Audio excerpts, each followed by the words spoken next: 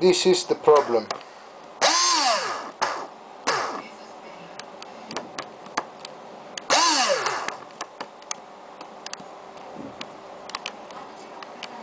Very very very bad.